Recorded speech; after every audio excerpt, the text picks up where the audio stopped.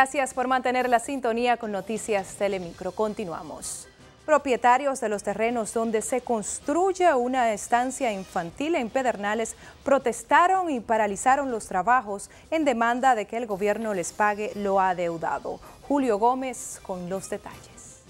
Dueños de los terrenos protestaron esta mañana con el apoyo de la sociedad civil frente al establecimiento. Aseguran que mantendrán paralizada la obra hasta que el gobierno les responda satisfactoriamente. Hemos dado innumerables viajes al Ministerio de Educación sin que hasta el momento, hasta la fecha, no den una respuesta precisa y contundente en ese sentido. Yo perdí el patrimonio de mis hijos, mi casa, que me desbarataron ahí para esa obra. Según los ingenieros constructores, la situación atrasará la entrega de la estancia supuestamente sería este viernes creándole mayor presupuesto de lo establecido. Todos los frentes que teníamos trabajando ahora mismo los tenemos parados. Entonces, claro que sí que nos va a crear muchísimo más gasto.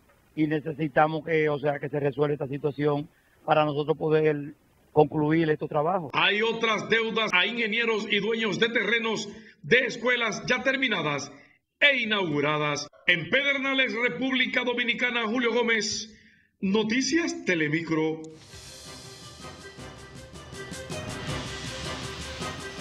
Saludos, muy buenas tardes, tengan todos en el plano económico de hoy. Escuchen esto. Para el mes de septiembre, el Poder Ejecutivo, mediante decreto, lanzará una política nacional de ciberseguridad, la cual establecerá la línea base para dar respuesta, diseñar y definir acciones que eviten el crimen cibernético en el país, según lo dio a conocer el presidente del Instituto Dominicano de las Telecomunicaciones, José del Castillo Sabiñón. Desarrollamos este y otros temas económicos de este día. El presidente del Indotel, José del Castillo Sabiñón, reveló además que será creado un centro de respuesta a incidentes de seguridad cibernética, donde convergen todas las instituciones públicas y privadas que pudieran ser afectadas por ataques en la red, lo que consideró un espacio de coordinación con las autoridades competentes ante este tipo de eventos. Por tanto, llamó a la población a crear una cultura nacional de ciberseguridad para que todo el pueblo esté prevenido y consciente de que en cualquier momento puede convertirse en posible blanco de ataque en la red de Internet ya que cada día la tecnología de la información y la comunicación es más utilizada por los ciudadanos.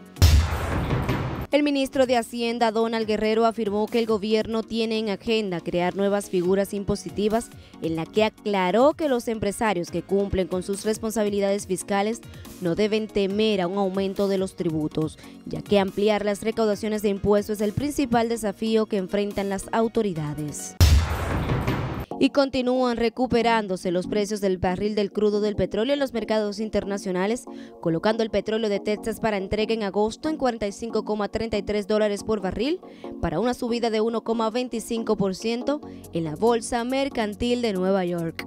Asimismo, el crudo Brent se recupera en 1,18% para ser ofertado en 47,90 dólares el barril en el Intercontinental Exchange de Londres. Para finalizar las informaciones económicas, el índice mensual de actividad manufacturera se recuperó significativamente al ascender de 43.3 en que se ubicó durante el mes de abril a 62.6 durante el mes de mayo, figurando este crecimiento como el máximo histórico desde el índice recibido desde junio de 2015 por tanto, es considerada como una señal positiva tras sobrepasar la barrera de los 50 puntos y esto evidencia que la actividad manufacturera está en ascenso. El comportamiento que ha registrado el índice mensual de actividad manufacturera ha ido de acuerdo al tamaño de las empresas industriales, sin embargo, los ascensos más fuertes produjeron en las medianas y grandes empresas, en las que ubicaron en 58.6 y 65.5% respectivamente, lo que muestra un aumento de 15.0 en las medianas y 26.1% en las grandes. Con esta información me despido, que tengan todos un feliz resto de la tarde. Gracias a nuestra compañera Ana Inoa por las informaciones económicas. Hacemos nuestra próxima pausa, quédense con nosotros.